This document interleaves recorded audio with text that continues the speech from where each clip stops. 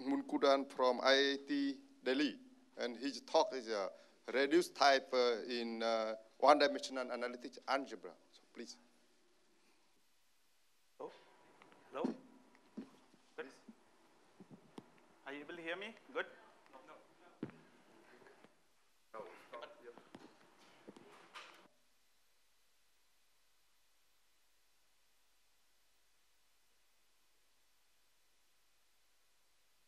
Hello?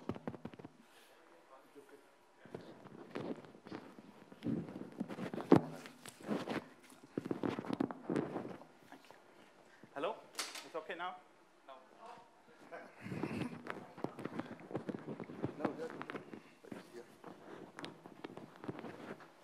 Hello? Are you able to hear me?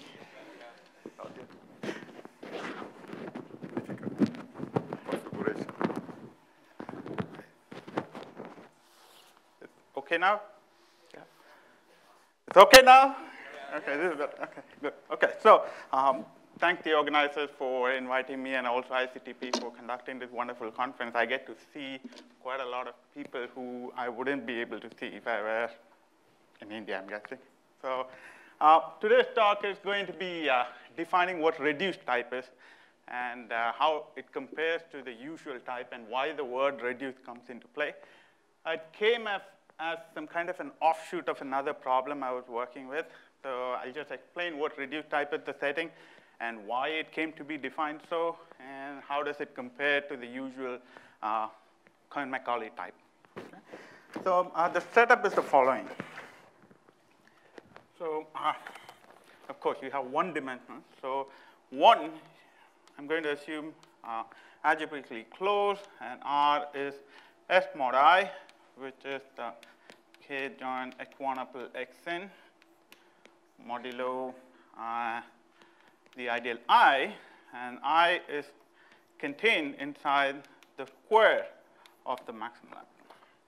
Okay, so I don't get to reduce the embedding dimension. And it's also a prime ideal.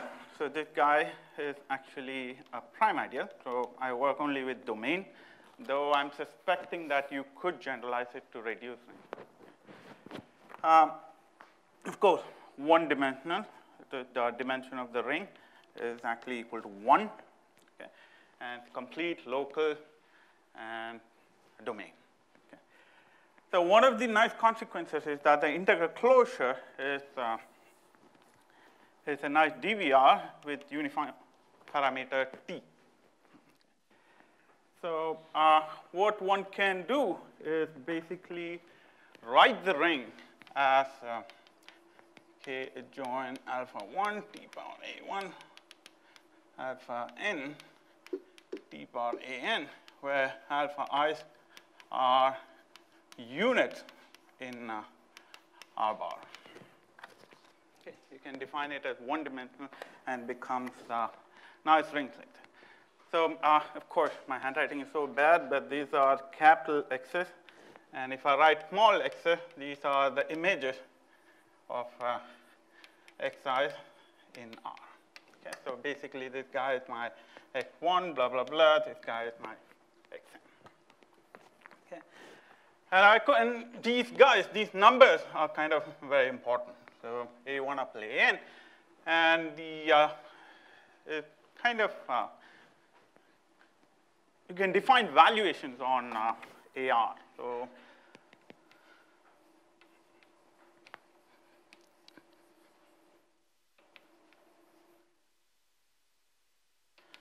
on R bar as the following. The valuation of uh, P of t is summation of Ci t power i, of course the power series in t power i, to be the uh, minimum among all the i's that the Ci is not equal to the, the order valuation, the standard order valuation on the P. So this induces a valuation on, on R also. This induces a valuation on R, so you have a valuation semigroup on R. Okay, V of R the uh, valuation semigroup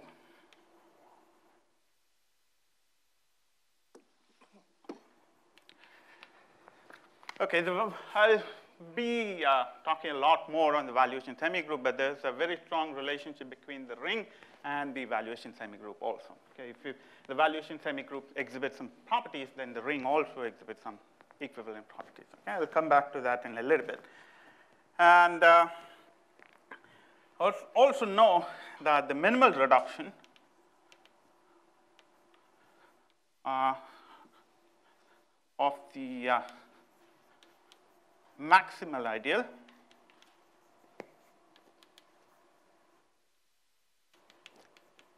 x1 up xn is the ideal generated by x1 is precisely because if you extend the uh, maximal ideal to the integral closure, it's actually principally generated. Okay? So the minimal reduction of the maximal ideal is nothing but the ideal generated by x1 itself.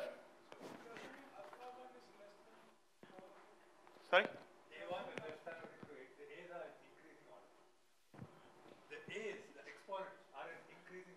Uh, yeah, yeah, yeah, you can assume that.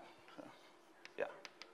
You can arrange it in such a way that the A's are in increasing order. You have the minimal valuations in, which is also the multiplicity. Yeah, sure. Okay, so one quick example of uh, is that, uh, take for example, uh, k adjoint t power 4, t power 6 plus t power 7, and t power 11. Now this guy is uh, nothing but t power 4, t power 6 times 1 plus t, and t power 11. The valuation semigroup is uh, of R, where this guy is my R, is actually generated by 4, 6, 11, and 13. So it kind of uh, uh, kind of easy to just say that you just take these valuations and valuation semigroup will be generated by A1, A2, up to AN, but it's not true. You have to be a little bit more careful. The valuation semigroup may be generated by more elements than the A1, A2, A3. Okay, so, uh, so the next definition I want to make is about the conductor. Conductor is nothing but R adjoint R bar on the quotient field. Okay? And it's the largest common ideal between the ring and the, uh, and the uh, uh, integral closure. And there is no way that the conductor is always contained inside a principal ideal. Okay? And this guy is very special because uh, one can define this guy to be generated by t power c, t power c plus 1, all the way up to t power c plus a1 minus 1. And this guy is special because it contains every monomial after t power c, okay? but not t power c minus 1, of course. c minus 1 is not in the conductor, but it contains every monomial after t power c. Like for example, a quick example for that one is, um, for example, take k adjoint t power 4, t power 11, and t power 17. You can show that the conductor contains everybody after 19. Okay? And T power 18 is not in the conductor. It's not very hard to prove it. You can basically check all the valuations that appear generated by 4, 11, 17, and you can prove that everybody after 19 is present. Okay, so um, uh, for example, this one, if you want to check the conductor, the conductor is going to be 10.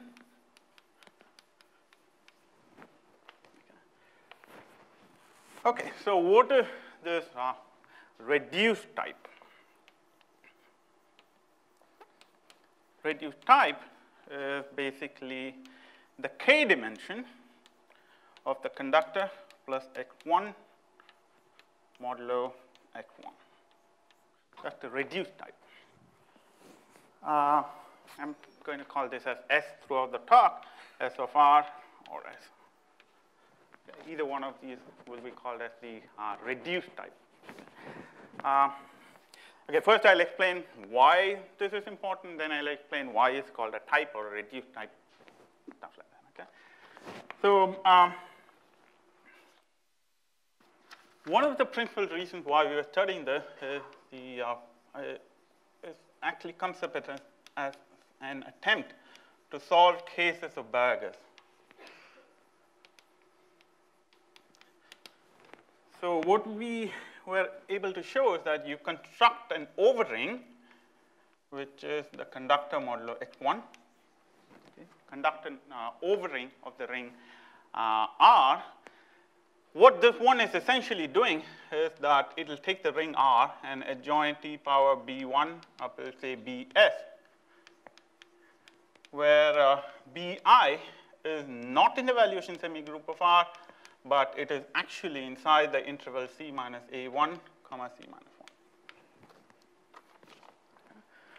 So essentially what's happening is that the embedding dimension of uh, S is actually n plus S, where this guy is a reduced type, and this guy is the embedding dimension of the original ring.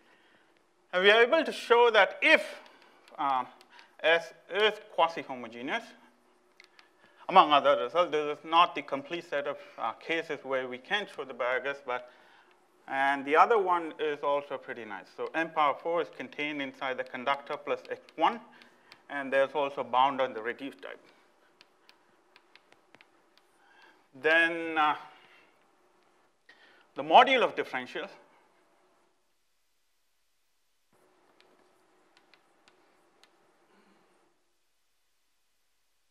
omega r has torsion. Okay, so the model of differentials omega r will have torsion. So that, that affirming what Berger's is true. The first one is nice because it's strictly better than the old result of, sorry, sorry. Okay, okay, I'll try. Okay. Uh, where, here? No, both of them. Either one of, okay, yeah, sorry, yeah, you're right. Okay. Okay. So either this is true or this is true, then the Berger's. These are not the complete set of cases, but two illustrative examples where the reduced type comes into play. Okay. The first one is nice because it's strictly better than the uh, original result of Scheja, where he proved that if R is quasi-homogeneous, then the Berger's is true, but this one is strictly better. Second one is nice because the original results involve when the maximal ideal is contained inside a principal ideal. I mean, the fourth power of the maximal ideal is contained in the principal ideal, then the Berger's is true. But this is much better. M power 4 is not contained in the principal ideal, but C plus but you do have some bound in the reduced type. Okay, so this is, this is the reason why we ended up studying the uh, reduced type. And I'll try to write a bit more bigger of why. Sorry? Character Characteristic is zero. It's always zero, sorry. It's always zero. Okay, so uh, why the reduced type? So where does the word reduced and the word type comes into play is because uh, of the uh, following. So C plus x1 modulo x1 is always contained inside the uh, x1 colon m modulo x1. Uh, you can see that uh, the conductor times the maximal ideal is always contained inside the uh, principal ideal. And that is because m times the conductor is nothing but x1 times the conductor. x1 is the minimal reduction of m. Therefore, m times the conductor is nothing but x1 times the conductor. Oh,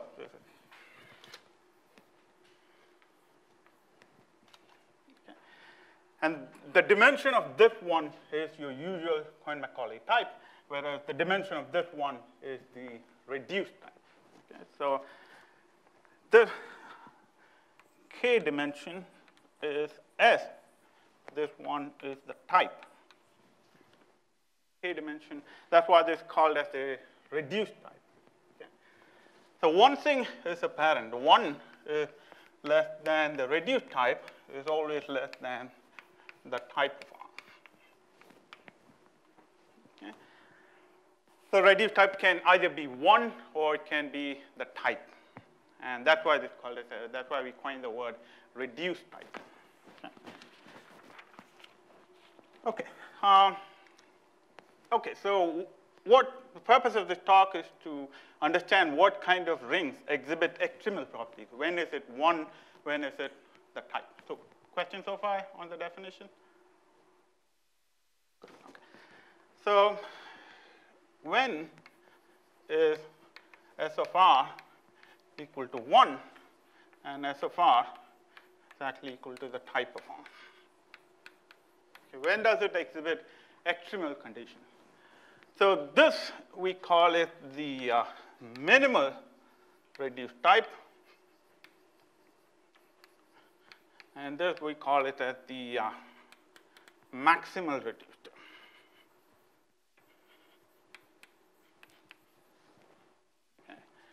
So when does the ring exhibit minimal reduced type and when does the ring exhibit maximal reduced type? Okay, so it's true that when R is Gorenstein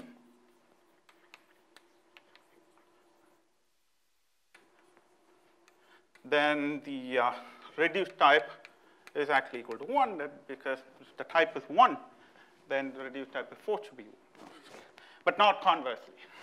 Okay. But uh, not conversely. Okay. Not conversely. Uh, simple example, one of the simplest example is R is K join uh, T to the 4, T power 11, and T power 17. Okay. One can easily check that this guy has reduced type 1, okay. but it is not Gorenstein.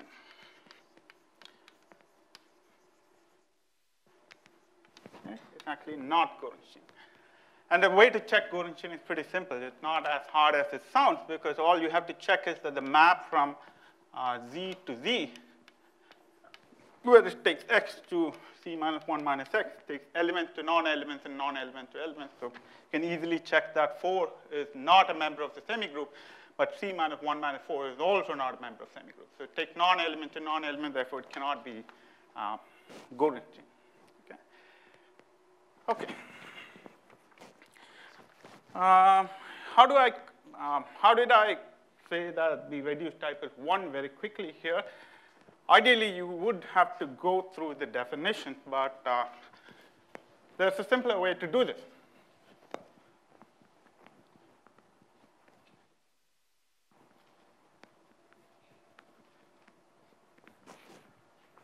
All you have to do to compute the uh, reduced type is count the uh, number of integers in C minus A1, comma C minus 1, but not in the valuation semigroup. Okay? The cardinality of the set of integers between C minus A1 and C minus 1, but not in the valuation semigroup, that will give me the uh, reduced type. And uh, why does that happen? Well, if you want the, you want the uh, length of this quotient, C plus X1 mod X1. That is like computing the length of C modulo C intersect with X1. Now, if I want to compute the length, all I have to do is count the valuations here and then delete the valuation coming from here, that the cardinality will give me the length of the quotient. So in this case, it so happens that this guy is always contained inside m times the conductor. Okay?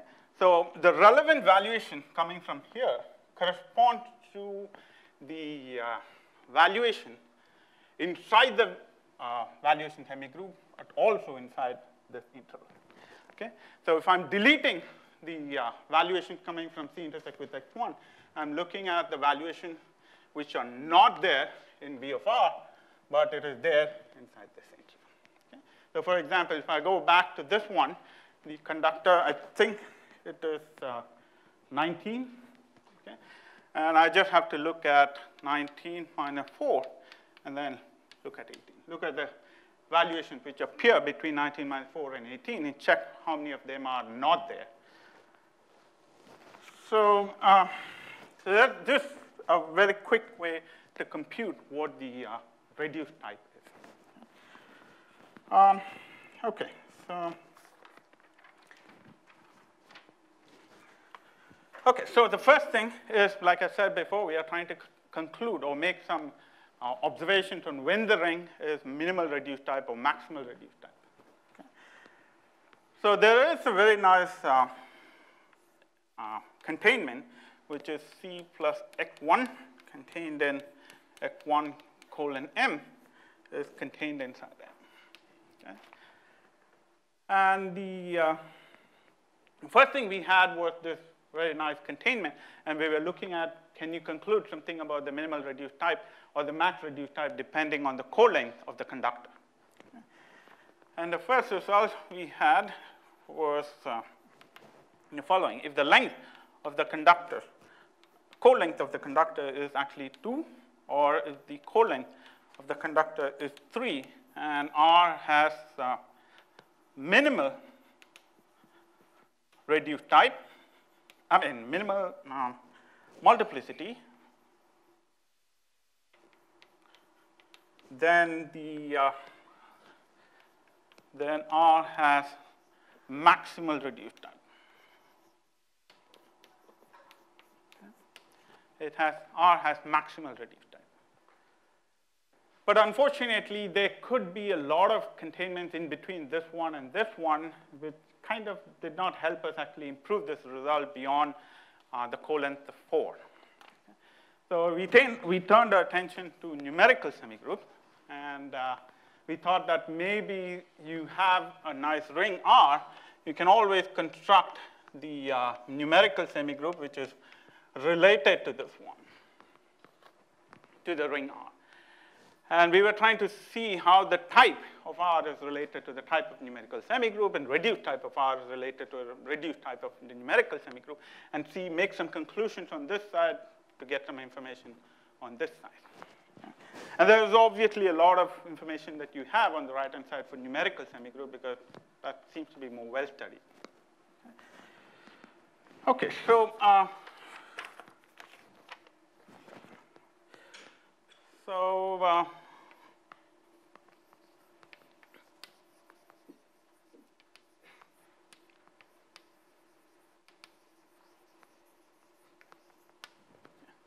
numerical semigroup. Okay? So uh, like I said, you have a ring, you construct a corresponding numerical semigroup. How do you do that? Just go ahead and take the, uh, if the numerical semigroup is actually, numerical semigroup is actually generated by D1 up upon Dm, just takes the uh, corresponding numerical semigroup to be uh, k join t power D1, t power D. Okay, so what the information that you have, um, why is this, why is this kind of important? Why is the uh, numerical semigroup important? Well, like I was doing there, I was able to conclude that the uh, ring was actually not Gorenstein because of a result of Kunz, who says that the ring is uh, if and only if the valuation semigroup is symmetric. So,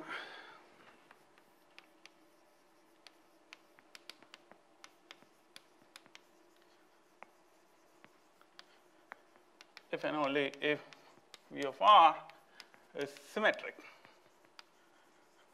So symmetric basically means that there's a function from z to z, and it takes x to c minus 1 minus x, where c is your conductor for the ring.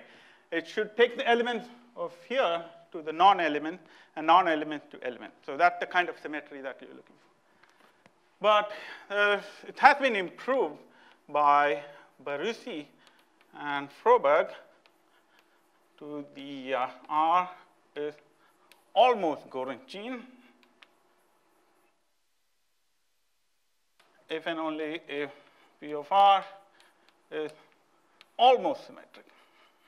Okay, this definition is a little bit more tricky. I'm going to avoid the definition, but remember that there is something there.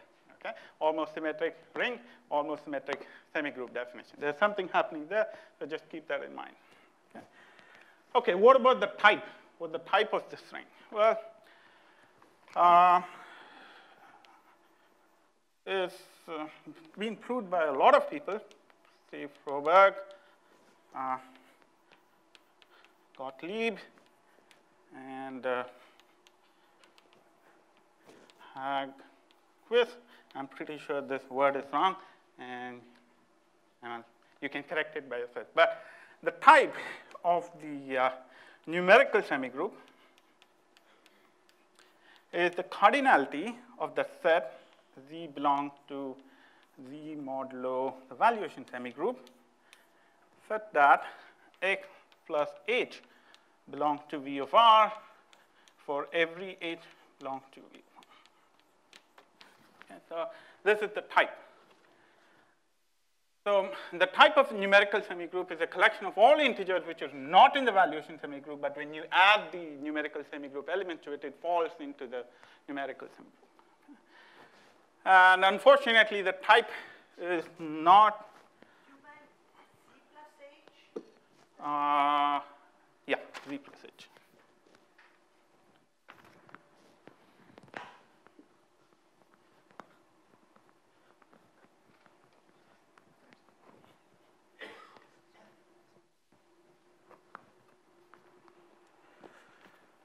So, uh, theorem of uh, Barucci, Dobbs, and uh, Fontana,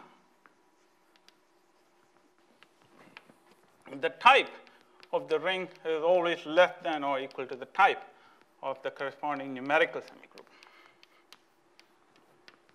Is always less than or equal.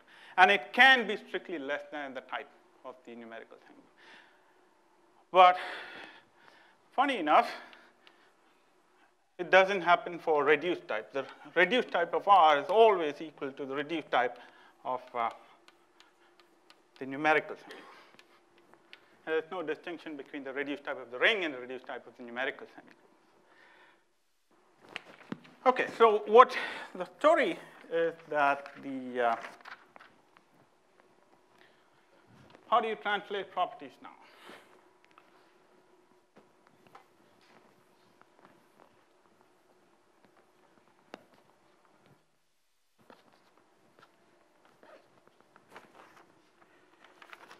The theorem how to go forth from uh, the uh, ring to the numerical semigroup is the following. So R is of uh, minimal reduced type.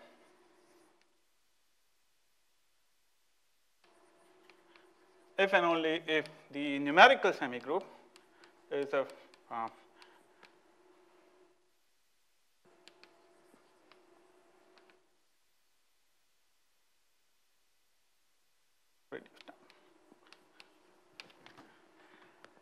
Of course, uh, you can combine all these equalities up to get this one.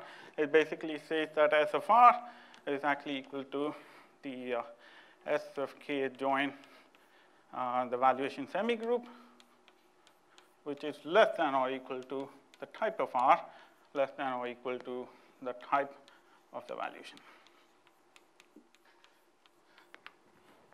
Okay. You have this long string of uh, inequalities here and you should be able to prove that it's of minimal reduced type if and only if the numerical semigroup is So if you want to study numerical, I mean minimal reduced type is kind of much easier because it just follows through to the new, just take the corresponding numerical semigroup, you'll be able to prove that. But the, on the other hand, maximal reduced type is weird. So R is of max reduced type.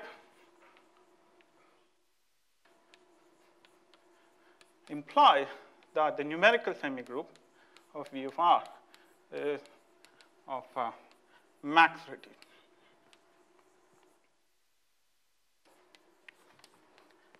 And the converse happens if you know that the types are equal.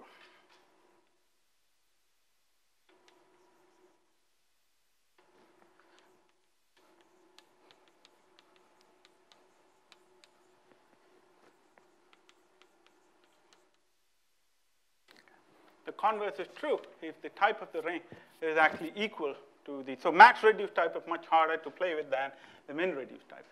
But either way, this theorem kind of says that if you want to know a lot of information on the max or min reduced type of the ring, you better go to the numerical semigroup, study when is it max or min reduced type there and put it back to the ring R. Okay, so you won't, it's much better when you have minimal multiplicity.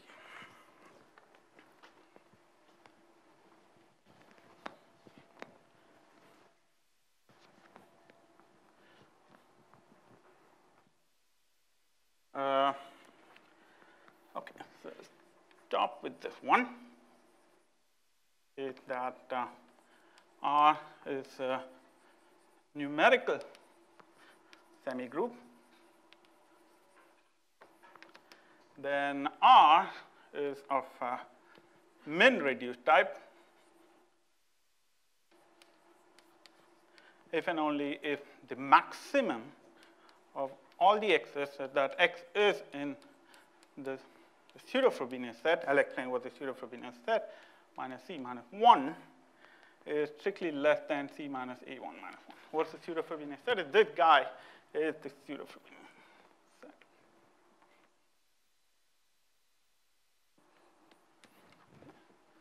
So there's no h here. Okay? So if it's, it's a numerical semigroup, you can easily check out when is the minimal reduced type. Just check that the maximum among the pseudo-Frobenius numbers, except for C minus 1, is strictly less than this number.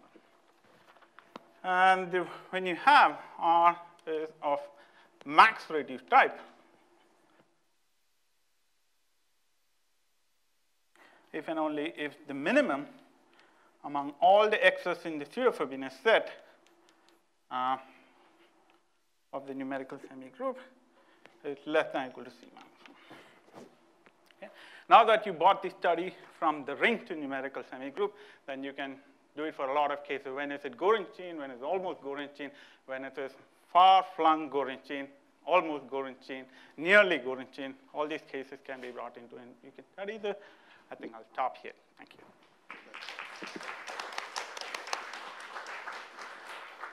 So any question or remark?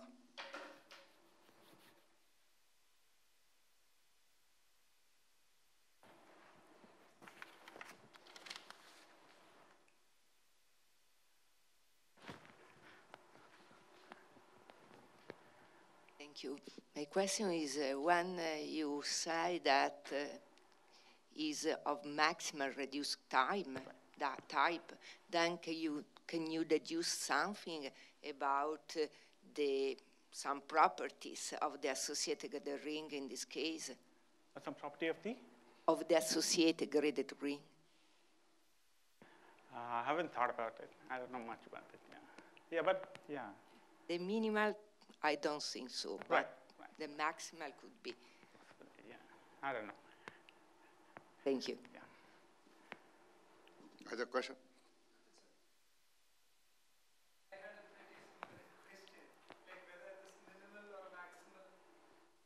Uh, the minimal or maximal reduced type will uh, act as a sufficient condition for good properties of uh, uh the ring, I mean, uh, other homological or you know, properties of blow-up algebras. I don't know anything about the blow-up algebra, but the story originated from Berger's, so I was more concentrated on studying these minimum maximum reduced type to solve Berger's or get more information to cases of Berger's. But yeah, sure. But I don't know much about the uh, blow-up algebra. Uh, just something related to what you said at the end. We could make some connections with nearly Gorenstein, almost Gorenstein. That Do you be have done. some ideas in your head? Sorry? For- Do you have some ideas to make those connections? Uh, I Uh, know the have some- connection. I haven't read, shown it yet. Oh, okay. Okay, thanks. Other? So if not, we can speak again.